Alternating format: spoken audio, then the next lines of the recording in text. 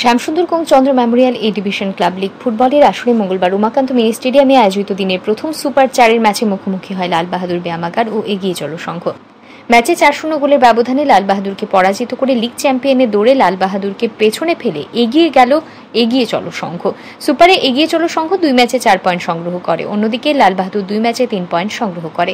এদিনের ম্যাচে এগিয়ে চলো সংঘের হয়ে তিনটি গোল করে সপ্তম শর্মা, শ্যামকুমার, মিলন সিং এবং ম্যাচের ইঞ্জুরির সময় একটি গোল করে স্যামসন সালাম। ম্যাচের একষট্টি মিনিটে লাল বাহাদুর ক্লাবের গোল রক্ষক বক্সের বাইরে এসে বল রিসিভ করায় তাকে লাল কার্ড দেখান রেফারি। ফলে মাঠ ছাড়তে বাধ্য হয় লাল বাহাদুর ক্লাবের গোলরক্ষক শাসন কুমার জমাতিয়া। ব্যুরো রিপোর্ট, আর ই নিউজ।